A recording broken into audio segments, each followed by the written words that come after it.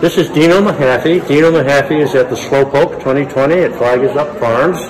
He is both an artist, and the paintings behind him are his, and he's a sculptor. And we have today the unveiling of his latest sculpture for the first time to the public.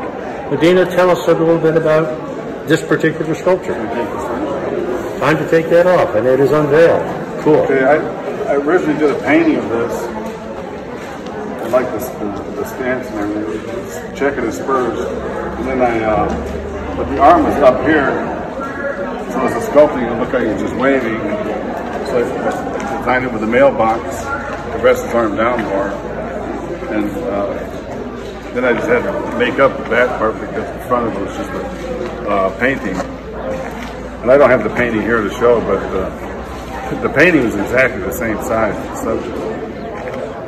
And so it's fun to do, and I had the, the challenge of figuring out the, what you wouldn't see on the flat surface, the three, three-dimensional area. So how did you make the sculpture? Is that out of clay or something? Yeah, it's clay, and uh, made molds and uh, turned into bronze. And this is the artist proof, Yeah, this is artist proof. This is the first one done. And you'll have There'll be an uh, a limited edition of Limited edition of nine. Yeah. nine.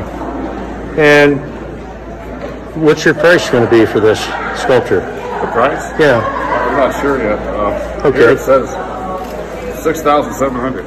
Okay, so there's your your first edition right. artist proof price, and it may go up uh, with it'll up, popularity. yeah. So come to the Slowpoke and introduce yourself to Dino and learn more about Spur Check, his uh, beautiful piece of sculpture here. Thank you. Thank you for having me here.